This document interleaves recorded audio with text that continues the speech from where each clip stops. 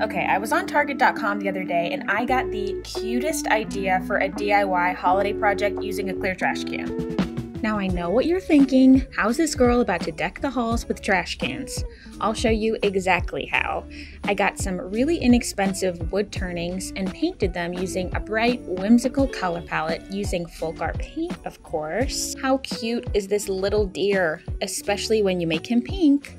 Acrylic paint is notoriously hard to use on plastic, but here's a really great tip. Mod Podge is not.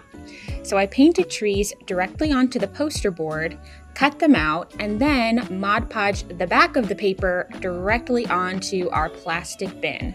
Really cute and really budget friendly for the holidays. Happy crafting!